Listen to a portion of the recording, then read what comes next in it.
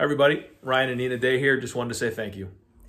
We wanted to reach out and let you all know how much we appreciate all that you're doing. Everyone at Nationwide Children's right now is, is going above and beyond and putting their health at risk, and it means so much, uh, first off, to our family, but more importantly, throughout the state of Ohio and for the city of Columbus. So thanks again, and together we'll get through this. Go Bucks.